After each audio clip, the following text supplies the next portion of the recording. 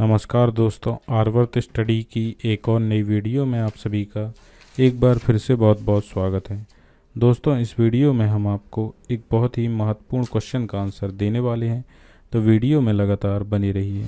दोस्तों, हमारा क्वेश्चन ये है, मोबाइल फ़ोन का आविष्कार किसने किया था?